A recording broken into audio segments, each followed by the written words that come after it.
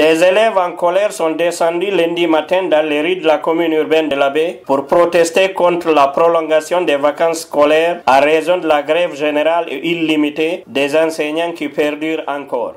Voilà, euh, aujourd'hui, euh, on a jugé important euh, d'initier ici une marche pacifique pour interpeller ensemble les autorités parce que c'est pas du tout normal de, voir certains élèves à la maison cependant qu'il y a d'autres qui font cours.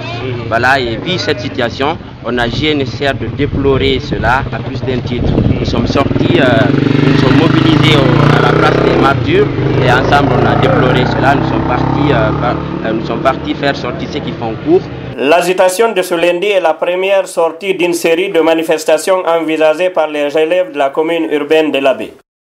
Nous nous sommes retrouvés au stade aussi.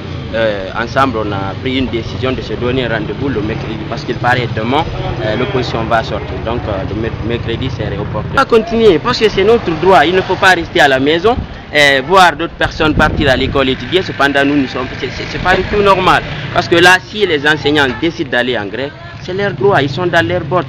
Aucun incident majeur n'a été signalé au cours de la manifestation des élèves dans les rues de la baie ce lundi, mais le bureau préfectoral du SLEG multiplie les appels pour que les parents acceptent de garder leurs enfants à la maison jusqu'à la fin de la grève des enseignants. Dès que les élèves vont à l'école, s'il n'y a pas de professeur, le plus souvent ça aboutit à des casses. Nous n'aimons pas qu'il y ait des casses en ville. Parce que le plus souvent, prenons un exemple sur un établissement qui se trouve du côté ouest, n'est-ce pas, du marché.